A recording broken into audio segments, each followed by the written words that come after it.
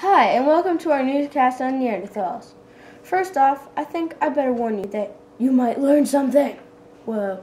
Okay, so in France, there's anthropologists in a cave, and they were digging, and they found Neanderthal remains. So guess what they did?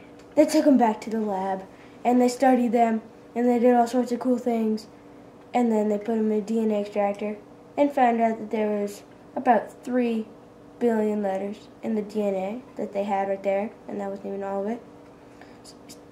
So they started decoding, and it'd probably take about seven years or so. But I think I might give you a demonstration. So, first off, we gotta have a bone, or else you couldn't really do it.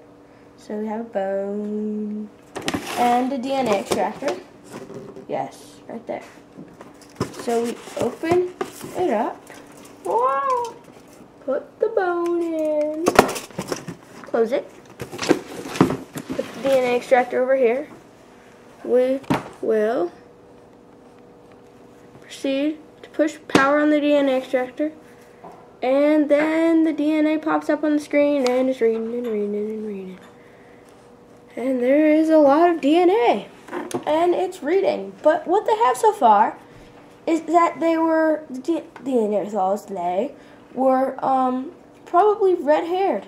Most of them, or a lot, and paler skin. It had something to do with the climate they lived in, all that cold and stuff like that. And they also found that, well, they they may have also been able to talk, which was previously thought impossible. So they also, so they're all pumped up. They're like, yeah, we found some bones.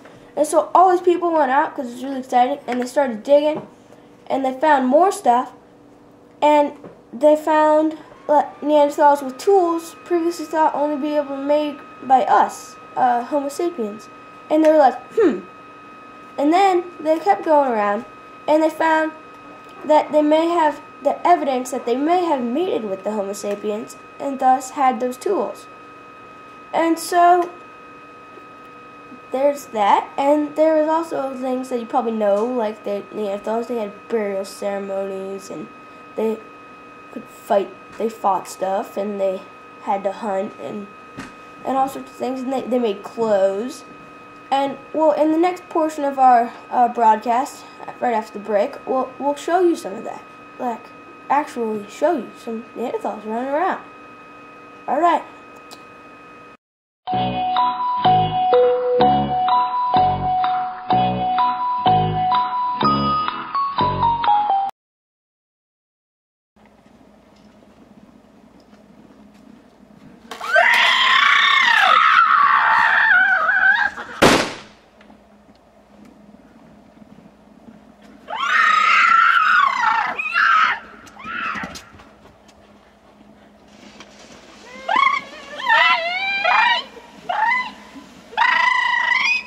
The Neanderthal man.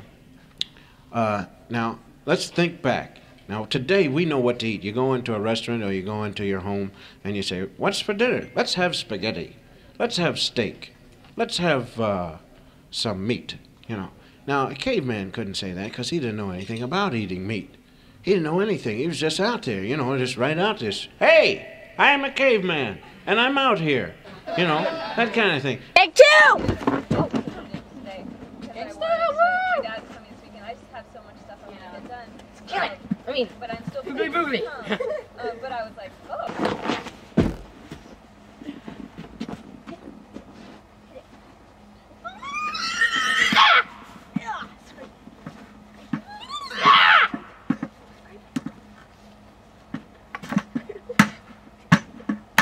it's working. Oh, I mean hoogly boogly. Other words take. Other words take. That was your first take. Really? Okay. Take two. So guys, do you need more Dude, you don't time? hit it into the bucket. Guys, do you need more time? Why? Kind of. Is it, is it important? Yes, it's very Yeah. important. there, pal. Are you okay? Yeah. It's funny when people trip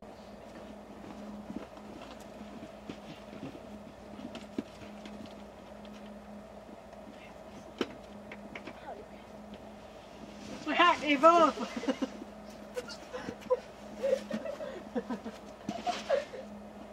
Take two. Take two. I'm down my back.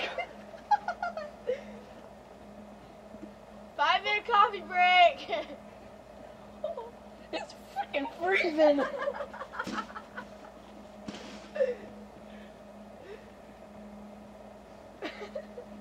Going on gangster with the woolly mammoth hat here. oh my god, freezing. And then, yeah. Take two. Hold on, I gotta get on set. Oh, I mean the deathbed, the deathbed. Don't. Ceremonial thingamajigger. That one. Hold on. And Take two. Judd, go.